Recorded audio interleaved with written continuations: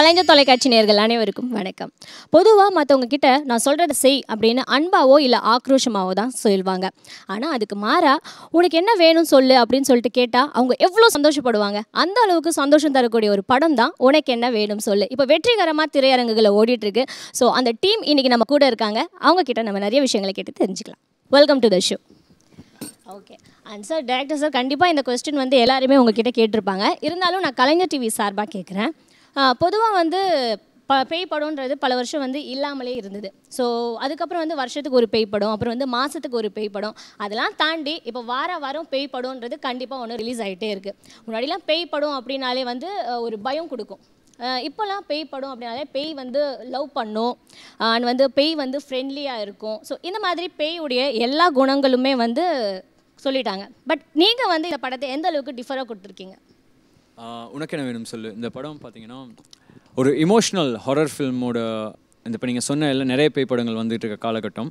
Emotional horror ஃபில்மோட அளவு வந்து ரொம்ப கம்மியாக தான் இருக்குது இது வந்து ஒரு அப்பாவோடையும் அம்மாவோடையும் ஒரு லிவிங் டுகெதர் ரிலேஷன்ஷிப்பில் உருவாகிற ஒரு கரு. குழந்தையாகி அந்த கரு குழந்தையாக இருக்கு அந்த கருவாக இருக்கையில் நிறைய ப்ராமிசஸ் அப்பா அம்மாவும் பண்ணியிருப்பாங்க அது இந்த உலகத்துக்கு வந்து பார்க்கையில ஒரு அனாதை குழந்தையா இருக்குது. அந்த குழந்தை இறந்து போயிடுது எட்டு வருஷத்துக்கு பிறகு அந்த குழந்தை தன்னோட அப்பாவையும் அம்மாவையும் தேடி பழி வாங்குது. ஏன் பழி வாங்குதுன்னா அவங்க கூட வாழணுங்கிற ஒரே ஒரு ஆசைனால தான் பழி வாங்குது. ஸோ இது வந்து ஒரு இமோஷ்னலி எல்லா ஆடியன்ஸுக்கும் கனெக்ட் பண்ணக்கூடிய ஒரு அப்பா பொண்ணு சென்டிமெண்ட் இருக்குது இந்த படத்தில்.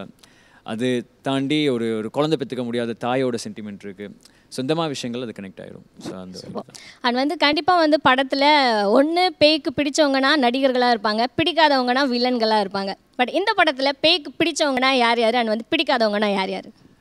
இந்த படத்தில் பார்த்தீங்கன்னா பேய்க்கு பிடிச்சவங்கன்னா ஹீரோ தீபக் அப்பா பண்ணியிருக்காரு ஜாக்லின் அம்மா பண்ணியிருக்காங்க அண்ட் பேய்க்கு பிடிக்காதவங்கன்னு சொன்னால் இவர் தான் ஃபஸ்ட்டு அந்த பேய் கை காட்டும். ஏன்னா இவர் தான் அந்த பேய்கிட்ட போய் உனக்கு என்ன வேணும் சொல்லு உனக்கு என்ன வேணும் சொல்லுங்கிற டார்ச்சரை கொடுக்குறதே இவர் தான் ஓகே ஸோ அந்த மாதிரி. உங்களுக்கு இந்த மூவியில் என்ன மாதிரியான கேரக்டர் கொடுத்துருக்காங்க? இந்த படத்தில் வந்து நான் ஒரு தந்தை கேரக்டர் தான் நானும் பண்ணியிருக்கேன். ரெண்டு குடும்பங்கள் ஸோ ஒரு குடும்பத்தில் வந்து எனக்கும் என் மனைவிக்கும் வந்து ஒரு குழந்தை இருக்கும். ஸோ அந்த சக்தி வந்து எப்படி வந்து எங்களை வந்து ஆட்டி படைக்கிறது தான் இது. ஸோ ஒரு நல்ல ஒரு சட்டலான ஒரு கேரக்டரு வாய்ஸ்லாம் ஏற்றி பேசாத ஒரு கேரக்டர் நல்ல மெச்சுவர்டான ஒரு கேரக்டர் பண்ணியிருக்கேன். நீங்கள் சொல்லுங்கள் நீங்கள் வந்து எங்களுக்கு எல்லாருக்குமே ரொம்ப பிடிச்ச ஒரு ஆர்டிஸ்ட் ஆனால் இந்த படத்தில் வந்து பேய்க்கு பிடிக்காத ஒரு கதாபாத்திரத்தில் நடிச்சிருக்கீங்க இல்லையா? ஸோ உங்களுக்கு எப்படி இருந்தது இந்த கேரக்டர் பண்ணும்போது? இது முழுக்க முழுக்க டேரக்டரோட டிசைன் மட்டுமே. நம்ம பேய் ஓட்டத்தை பார்த்தீங்கன்னா எப்போதுமே வேப்பில் அடித்து ஓட்டுவோம் இல்லை ஹோலி வாட்டர் தெளித்து ஓட்டுவோம் இல்லை பெயர் மீட்டிங் போய் பார்ப்போம். அப்படி தான் பார்த்துருப்போம். இந்த பேயை ஓட்டுற விதமே வேறு மாதிரி தான் இருக்கும் இதில். இதில் உப்பு அதுக்கப்புறம் மணி இதெல்லாம் வந்து பெரிய டிசைனே இருக்குது அதுக்கு பெரிய ரிசர்ச்சே பண்ணியிருக்காங்க டேரக்டர் யூஎஸில் நிறைய நிறைய நாள் வாழ்ந்திருக்காங்க. அவர் காலேஜ் படித்தாரா இல்லை அதை வேலை பார்த்தாரா தெரில இதுக்கான ரிசர்ச் நிறைய பண்ணியிருக்காரு. அவர் டிசைன் பண்ண விஷயத்தை தான் எங்கிட்ட வேலை வாங்கியிருக்காங்க. இதுக்கு முழுக்க முழுக்க ஸ்ரீநாத் தம்பி தான். அவங்க தான் அது காரணமே. நான் ஒர்க் பண்ணியிருக்கோம் அவ்வளோ தான் அவங்க என்ன தேவைன்ற விஷயத்த சொல்லுவாங்க அதை நாங்கள் நடிப்போம். ரொம்ப நல்ல விஷயம் எங்களுக்கு. புதிய பரிமாற்றம் இது.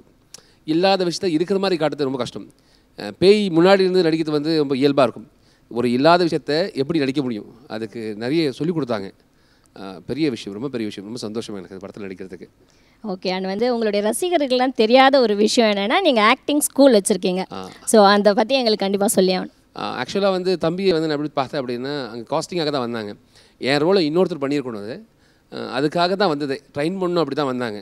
அப்போமா அப்போ பேசி அது இந்த பேயாக நடிச்சிருக்க ஒரு பிள்ளை அதில் ஒரு மூணு கேரக்டர் நம்ம ஸ்டுடியோவில் வந்து தான் பண்ணியிருக்காங்க. நானும் இந்த படத்தில் ஒர்க் பண்ணுறதுக்கான ஒரு பெரிய வாய்ப்பு கிடைச்சிது. அதுக்கு முழுக்க முழுக்க காரணம் வந்து மனிஷ் அப்படி தான் அவங்க தான் டிஓபி பண்ணியிருக்காங்க. அவங்க தான் என்னை முதல்ல அறிமுகப்படுத்த தம்பியை. அது மூலிமா தான் பேசி பேசி நீங்களே பண்ணுங்களேனே அப்படி ஆரம்பிச்சு தான் எனக்கும் பெரிய சந்தோஷம். ஆக்டிங் சொல்லி கொடுக்குற வரைக்கும் வந்து நீங்கள் ஆக்டிங் சொல்லி கொடுத்துருக்கீங்க இந்த படத்தில். ஸோ அவர் வந்து எந்த அளவுக்கு சப்போர்ட்டிவாக எடுத்துகிட்டு உங்கள் கூட ஒர்க் பண்ணார்? அப்படியே நான் அண்ணாக்கு ஆக்டிங் சொல்லி கொடுத்தேங்கிறது வந்து ஒரு தேர்ட்டி பர்சன்ட் தான் சொல்லலாம். செவன்ட்டி பர்சன்ட் அவர்கிட்ட இருக்க விஷயம் அது நம்புற மாதிரி எனக்கு நான் நம்புகிறோம் நான் நம்பணும். பேசிக்காக ஒரு பேய் விரட்டுறாங்க ஒரு ஆவியை விரட்டுறவங்க என்ன செய் செய்வாங்கிற பாடி லாங்குவேஜ் வந்து தாய்லாண்ட்லேருந்து இருந்து ஒரு ட்ராவல் ஷோவில் நான் கற்றுக்கிட்ட ஒரு விஷயம். உப்பு போடுவாங்க. அந்த உப்பு ஏன் போடுவாங்கன்னா அந்த நெகட்டிவ் எனர்ஜி உள்ளுக்கு வராமல் இருக்கிறதுக்காக ஒரு ரீசன் அது மட்டும் இல்லாமல் பெல் அடிப்பாங்க. அந்த ஸ்பிரிட்டை வந்து இரிட்டேட் பண்ணும். இரிட்டேட் பண்ணால் தான் அதை வெளியே வர வைக்க முடியுங்கிற ஒரு ரீசன் இருக்குது அந்த ஸ்பிரிட்டோட ப்ரெசன்ஸ் வந்து ஒன்று தான் ஒரு கேண்டில் அணையும். அந்த ரூமில் அதோட சக்தி இருக்குன்னா அந்த மாதிரி விஷயங்கள் நான் பார்த்த விஷயங்கள். ஸோ அண்ணா கிட்ட நான் வந்து சொன்னேன் அவர் விரட்டுறவர் வந்து அந்த லைக் ஒரு சில கேரக்டரிஸ்டிக் நான் தாய்லாண்டில் அந்த பேய் விரட்டுறவர் பேய் விரட்டி பார்க்கல அவரோட பாடி லாங்குவேஜ் அப்படியே எடுத்தேன். அண்ணா கிட்ட சொல்லி ஒரு ரெண்டு மூணு வாட்டி எக்ஸ்பிளைன் பண்ணது மட்டும்தான். அதை வந்து ஒரு மூணு வேரியேஷனில் எனக்கு செஞ்சு காட்டினார். மூணு வேரியேஷன் ஒவ்வொரு டைமும் நாங்கள் டேக் போயில ஒரு மூணு டிஃப்ரெண்ட் வேரியேஷன் கொடுப்பாரு. அது வந்து நம்புற மாதிரி இருக்கும். ஒரு டிரெக்டரோட வேலை அதாங்க ஒரு ஆக்டர் வந்து நம்ப அவரோட நான் நம்பணும். அவங்க நடிக்கிறது. அப்போ மக்கள் ஆடியன்ஸ் நம்புவானுங்க நம்புவாங்கங்கிற ஒரு தாட் எங்களுக்கு இருக்கும். ஸோ அந்த ஒரு தாட்டில் தான் அண்ணா செஞ்சாங்க. சூப்பராக வந்து சரி ஏதோ ஒரு ஷார்ட் வந்து ஒரு மூணு வேரியேஷனில் நடிச்சு காட்டுங்க. டெய்ஸி வெளியே வாங்கின ஒரு விஷயம் அந்த படத்தில் வந்து ஒரு அந்த ஸ்பிரிட்டை கூப்பிடுது. அது ஒரு மூணு வேரியேஷனில் ஒரு சாஃப்ட் வாய்ஸில் ஒரு மீடியம் வாய்ஸில் ஒரு ஹை வாய்ஸில் அண்ணா செய்வார். ஆக்சுவலாக அந்த மீடியம் என்பது என்ன அப்படின்னா நம்ம ஒரு விஷயத்தை பார்த்து இந்த மீடியத்தை ஒர்க் பண்ணுற விஷயம் இருக்குல்ல அது கூட ஒரு வாய்ஸ் உட்காரும். அப்படிதான். டெய்ஸி வெளியே வா. இது நார்மலாக கேட்குறது வா டெய்ஸி வெளியே வா அப்படி சொல்ல. டெய்ஸி வெளியே வா. இப்போ கண்டிப்பா இதை தான் நாங்கள் எதிர்பார்த்தோம் இல்லையா? கிளப் பண்ணிடலாமே ப்ளீஸ் ஓகே இல்லை அந்த அந்த- அந்த இடத்துக்கு அந்த வாய்ஸோட ஒரு ஒரு முகம் ஒட்டும். அஹ் அதுதான் தேவை. ஒரு டேரக்டர் விஷயம் என்னென்னா இல்லாத விஷயத்தை இருக்கிற மாதிரி இமேஜின் பண்ணிக்கணும் நம்ம. ஓகே அப்போ இமேஜின் பண்ணால் தான் அது கிடைக்கும். உங்கள் பக்கத்தில் ஒரு பேய் உட்காந்துருக்கு அப்படின்னா நீங்கள் எப்படி ஃபீல் பண்ணியிருப்பீங்க அதை நம்ம ரியல் அதை ரியலாக கொண்டு வந்தால் தான் முடியும். அது தளத்தில் வாழணும். அப்போ தான் அழகாக இருக்கும். அந்த மூணாவது தடவையா ஒரு டே சீன் கூப்பிட்டீங்களா? அது இன்னொரு தடவை ஆக்சுவலாக என்னென்னா அந்த பேய் வந்து எனக்கு கழுத்தில் அடிச்சிடும் அடிச்சு கடிச்சிடும் ஒரு வாட்டி. அதனால் எனக்கு குரல் போயிருக்கும். கழுத்தில் பேண்ட் போட்டிருப்பேன். எப்போ பேசினாலும் "ம், டேசி உனக்கு என்ன வேணும்? சரி உங்கள் அப்பா கிட்ட நான் சேர்த்து வைக்கிறேன். என்கிட்ட வந்துடு வா டேசி உனக்கு என்ன வேணும்? பொண்ணுன்னா வந்து பேய்க்கே ரொம்ப பிடிக்கும்னு சொல்லலாம். ஏன்னா அவ்வளோ பொண்ணுங்கன்றது அவ்வளோ ஒரு பெரிய விஷயம் இல்லையா? கண்டிப்பா. ஸோ வந்து இந்த படத்துல உங்களுடைய கேரக்டரைசேஷன் எப்படி இருந்தது? ஸோ என்னோட கேரக்டர் பார்த்தீங்கன்னா ஒரு பொண்ணுக்கு தேவையான அத்தனை இமோஷன்ஸும் திருப்பி திருப்பி அனலைன் பண்ணுறேன் நீ. பொண்ணுக்கு தேவையான விஷயம்னு ஓகே காலேஜ் டேஸ்லேருந்து ஒரு பொண்ணு அதுக்கப்புறம் ஒரு ஒய்ஃப் ஆகும் போதோ அந்த அதே பொண்ணு தாய் ஆகும் போதோ ஒரு ஒரு கட்டத்தில் அவங்க இமோஷன்ஸ் மாறிக்கிட்டே இருக்கும்ல. ஸோ ஒவ்வொரு கட்டத்தில் அவங்க எப்படி டிசிஷன்ஸ் எடுக்கிறாங்க பிரச்சனைகளை எப்படி சால்வ் பண்ணுறாங்களா ஸோ இந்த மாதிரி ஒரு பொண்ணுக்குரிய அத்தனை இமோஷன்ஸ் இந்த படத்தில் என்னால் காட்ட முடிஞ்சுது. ஸோ என்னோடய கேரக்டர் பார்த்தீங்கன்னா இட்ஸ் இட்ஸ் கம்ப்ளீட் ஒரு எனி ஒன் கேன் ரிலேட் குட்டி பசங்க இந்த படத்தில் இருக்க குட்டி பசங்க ரிலேட் பண்ணலாம். ஏன்னா அப்பா அம்மா பாசத்தை ஏங்குறவங்க ஒரு girl friend bit of wife ஒரு மதர் எல்லாமே ரிலேட் பண்ணிக்கலாம். So that's my character is okay super and வந்து இதில் நீங்கள் லீடாக பண்ணியிருக்கீங்க ஸோ பேய் படம்ன்றது ரொம்ப டிஃப்ரெண்ட்டான ஒரு படமாக இருந்திருக்கும். ஸோ எவ்வளவோ பேர் வந்து புது புது முகங்கள் வந்துகிட்டே இருந்தாலும் ஏதாச்சும் நம்மக்கிட்ட இருக்கிற ஒரு விஷயத்தை வந்து வெளிக்கொண்டு வரணும் அப்படின்னா எல்லாருமே நினைக்கிறாங்க ஒவ்வொரு ஹீரோஸும் ஸோ இந்த படத்தில் உங்களுடைய கேரக்டரைசேஷன் எந்த அளவுக்கு அமைஞ்சுது? வணக்கம். என் பேர் தீபக். இந்த படத்தில் வந்துட்டு மூணு கேரக்டரில் நடிச்சிருக்கேன். ஃபஸ்ட்டு வந்துட்டு ரொம்ப வியர்டான ஒரு கேரக்டர் கால் சென்டரில் ஒர்க் பண்ணுற ஒரு ரோலு அதில் பார்த்தீங்கன்னா ரொம்ப கன்ஃபியூஸ்டாக இருப்பேன். அப்புறம் ஃப்ளட் பண்ணுவேன். ஒரு பர்பஸே இல்லாத ஒரு கேரக்டர் சொல்லலாம். அதே மாதிரி பார்த்தீங்கன்னா செகண்ட் ஹாஃபில் வந்துட்டு ஒரு இம்மெச்சூர்டான ஒரு ரோல் பாஸ்ட் அதில் வந்து ஒரு ஏர்லி டுவெண்ட்டீஸில் ஒரு கேரக்டர் ஒன்று பண்ணியிருக்கேன் அதே மாதிரி தந்தையாக நடிச்சிருக்கேன். ஒரு அந்த பொண்ணோட அப்பாவாக நடிச்சிருக்கேன் நான். ஸோ மூணு வேரியேஷன்ஸில் எனக்கு இந்த இந்த படத்தில் கேரக்டர் அண்ட் வந்து மூவிஸ்ன்றது எல்லாருக்குமே ஒரு ஒரு பெரிய மிகப்பெரிய ஒரு கனவு. அதுக்குள்ளே எப்படியாச்சும் நம்ம என்ட்ரி ஆகணும்னு. பட் வந்து நீங்கள் இந்த படத்தில் வந்து எப்படி நீங்கள் செலக்ட் ஆனீங்க? அண்ட் வந்து உங்களுடைய சினிமா பேக்ரவுண்ட் என்னன்னு சொல்லுவீங்க? இது வந்து என்னுடைய ஒம்பது வருஷ ஸ்ட்ரகிள் தமிழ் சினிமாவில் வந்துடணும் அப்படின்னு சொல்லிட்டு நான் நிறையா முயற்சி பண்ணேன். ஒரு மூணு நாலு படங்கள் பண்ணேன்.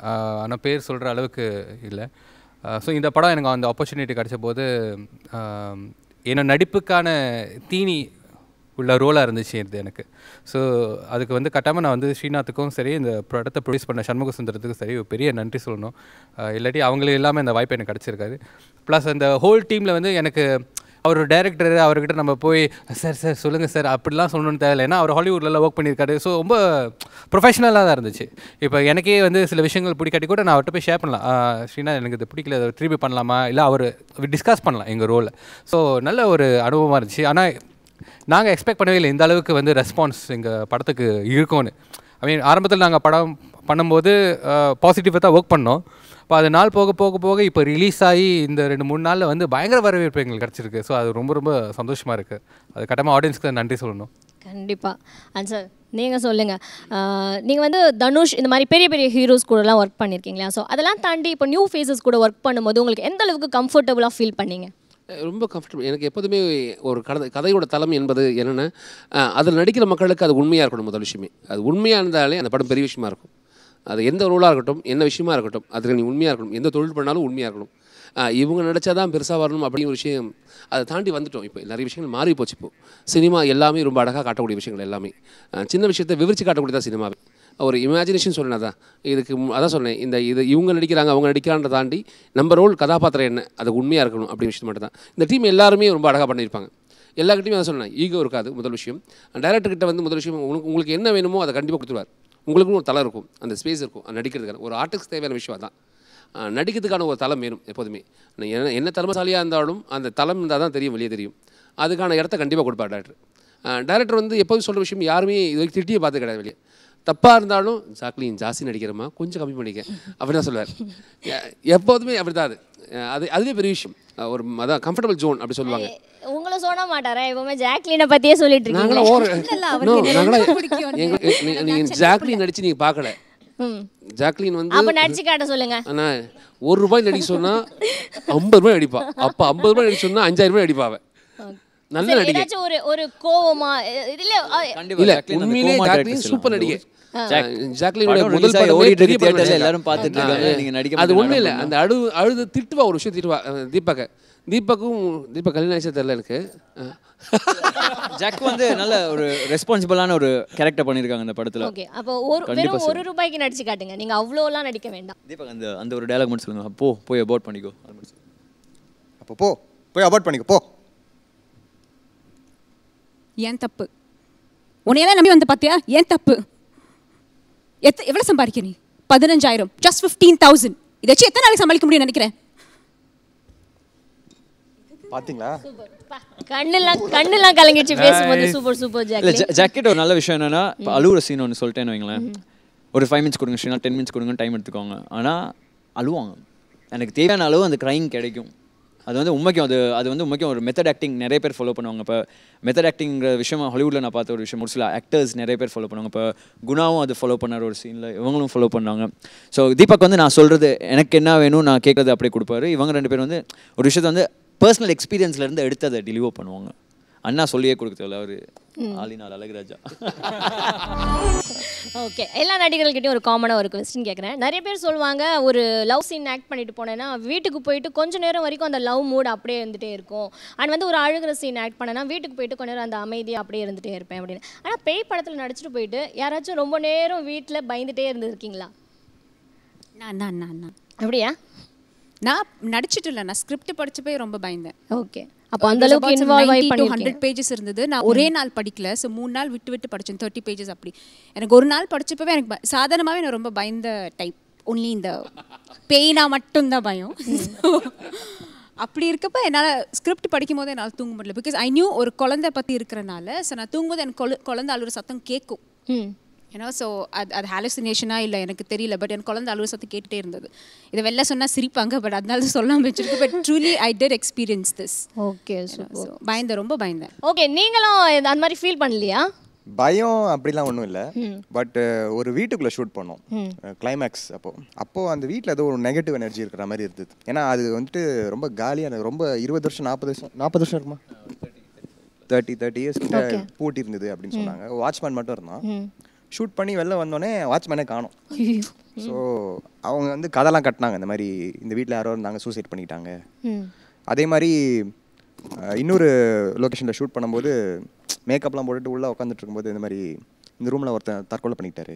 ஐயோ. அப்படின்னு சொல்லி சும்மானா பீதியை கிளப்பி விட்டாங்க. இல்லை ஆனால் உண்மையிலேயே பயம் இருந்தது ஆக்சுவலாக அது. என்னன்னா? இப்போ ஒரு பேயே பயந்துருக்கு. இதில் நடித்த பேய் வந்து யாமினின்னு புள்ள. அந்த அந்த புள்ள வந்து ரெண்டு நாள் தூங்கவே இல்லை. இந்த கதைக்கு.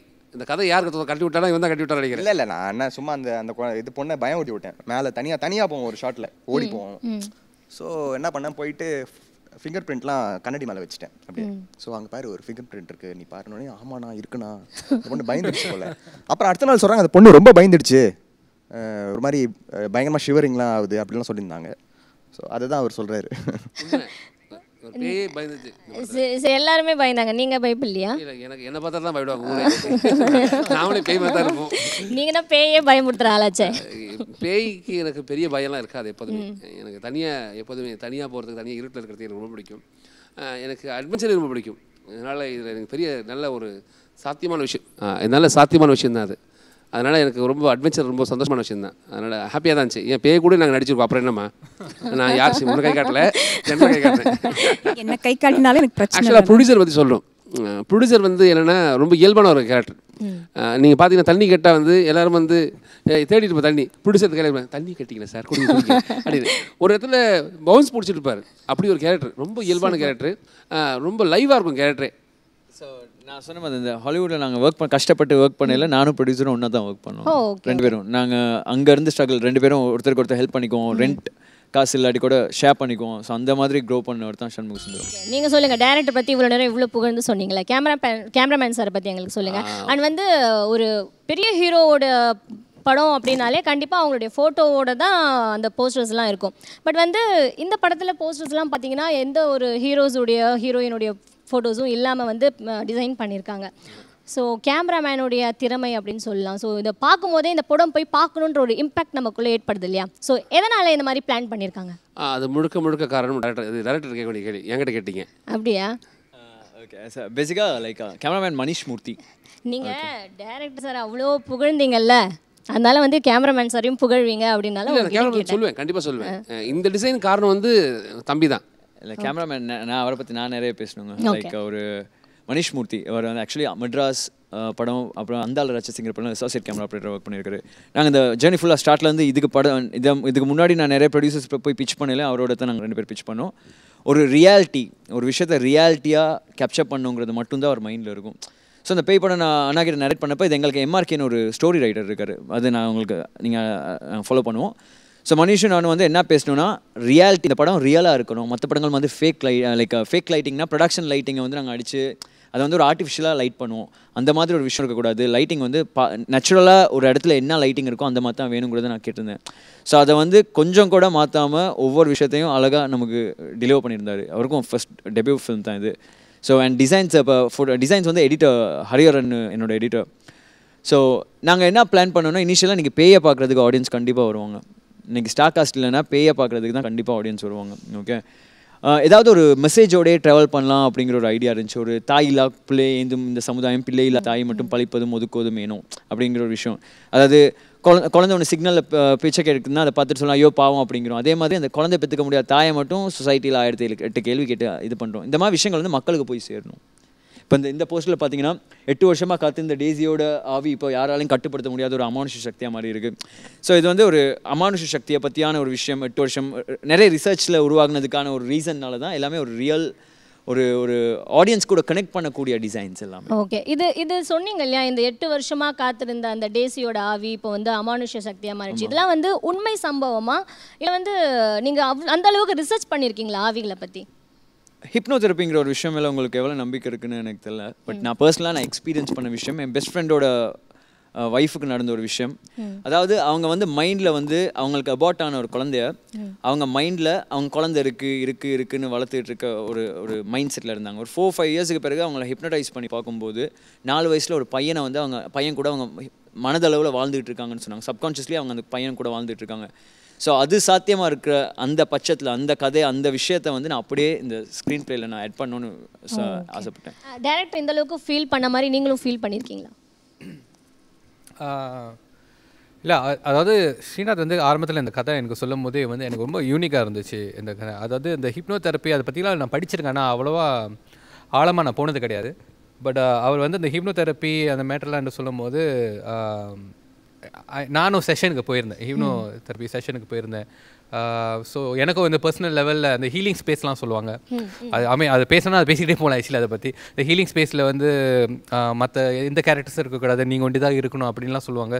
ஸோ அந்த மாதிரி எனக்கும் எக்ஸ்பீரியன்ஸ் நடந்துச்சு. ஸோ இதுதான் ஹிப்னோ தெரப்பி இப்படி தான் பண்ணுறாங்க அப்படின்னு சொல்லிட்டு அந்த செஷன்லாம் போயிருந்தேன். ஸோ இந்த படத்தில் வந்து அந்த மெசேஜ் ரொம்ப ஸ்ட்ராங்காக இருக்கும். அந்த ஹிப்னோ தெரப்பி மெசேஜ் எதனால இது நடந்துச்சு அப்படின்னு. படம் வந்து ரொம்ப காம்ப்ளிகேட்டடாகவே இருக்காதுங்க. ஆஹ் ரொம்ப ரொம்ப இட்ஸ் ஸ்ட்ரெயிட் ஆன் யோர் ஃபேஸ்னு சொல்லுவாங்களே இட்ஸ் வெரி டைரக்ட் இதில் வந்து இது ஏன் நடந்துச்சு ஏன் இப்படி நடந்துச்சு அந்த மாதிரிலாம் வந்து யாருக்குமே தோணாது. பார்க்கும்போதே கேள்வி கேட்கலையே. ஆமா. இது வரைக்கும் யாரும் கேட்கல. யாருமே கேட்கல. அது அப்படியே பார்த்தோன்னே தெரிஞ்சிடும். ஓ இதுதானா இதானா ஓ இதானா இதானா அப்படின்னு. அண்ட் டேரக்டர் சார் நீங்கள் சொல்லுங்கள் கண்டிப்பாக வந்து ஒரு பேய் படம்னாலே நடிகர்கள் எல்லாமே வந்து ரொம்ப போல்டாக ஆக்ட் பண்ணும். அப்போ தான் வந்து அது மக்கள்கிட்ட போய் ரீச் ஆகும் அவங்களுடைய ரியாக்ஷன்ஸ்லாம் ஸோ அந்த போல்ட்னஸ்க்கு ஏற்ற மாதிரி மியூசிக்கும் ட்ராவல் ஆகணும். ஸோ மியூசிக் டைரக்டர் இந்த இந்த மூவியில் எந்த அளவுக்கு அவருடைய அதான் லைக் இப்போ மியூசிக் வந்து சிவசரவணன் ஒருத்தர் தான் டெபியூ பண்ணியிருக்காரு அவர்கிட்ட நான் சொன்னது ஒரே ஒரு விஷயம் தான் இந்த கதை வந்து பார்த்தீங்கன்னா எம்ஆர்கேன்னு மதுரையிலேருந்து ஒரு அருமையான ரைட்டர் நாவல் ரைட்டர் அவரோட கதை. ஸோ ரமேஷ் நான் எழுதியிருந்த இந்த கதையை வந்து ஸ்க்ரீன் ப்ளே வைஸ் எல்லாத்தையுமே அப்படியே நரேட் பண்ணிட்டு சிவசரவனுக்கு இந்த கதை சொன்னப்போ அவருக்கு பண்ண முடியுமா இல்லையா? அங்கே நிறைய பேர் சொன்னாங்க இல்லை ஷுவரில் அவர் பண்ணுவார்? இன்னைக்கு ஆடியன்ஸ் நிறைய பேர் தியேட்டரில் அப்ரிஷியேட் பண்ணுற விஷயம் மியூசிக்கும் சவுண்ட் எஃபெக்ட்ஸும் ஓகே சிவசரவணன்ட்ட நான் சொன்ன ஒரு விஷயம் ஹாலிவுட் படம் அப்படிங்கிற ஹாலிவுட்டோட ஸ்டாண்டர்ட் நமக்கு கண்டிப்பாக அந்த மியூசிக்கில் கண்டிப்பாக தேவை. ஏன்னா பேய் படம்னா அது வந்து ஒரு பெரிய ப்ளஸ் பாயிண்ட்டுங்க பேய் படத்துக்கு ப்ளஸ் பாயிண்ட் பேய் ஒன்று சவுண்ட் எஃபெக்ட்ஸ் அட்மாஸ் இந்த மாதிரி இந்த படத்தில் வந்து அட்மாஸ் சூப்பராக பண்ணியிருக்காங்க சந்தோஷம் அட்மாஸ் தியேட்டர்ஸில் படம் ஓடுதுங்கிறது நினைக்கல. ரொம்ப சந்தோஷமாக இருக்குது ஏன்னா உழைச்ச ஒரு விஷயத்த வந்து தியேட்டர்ஸ் அட்மாஸ் தியேட்டர்ஸ் ரொம்ப கம்மிங்க சென்னையில். ஸோ அதுலேயும் எனக்கு சில தியேட்டர்ஸ் கொடுத்துருக்காங்க. என் டிஸ்ட்ரிபியூட்டர்ஸ்க்கு தான் அந்த இது கிராட்டிடியூட் ப்ளஸ் சிவசரனோட மியூசிக் வந்து எந்த இடத்துல என்ன தேவை அதை வந்து எப்படி கொடுக்கணுங்கிற அந்த மெச்சுவாரிட்டி அவர்கிட்ட இருந்தனால தான் எனக்கு அது அந்த வேலையை வாங்க முடிஞ்சு. அதுதான்.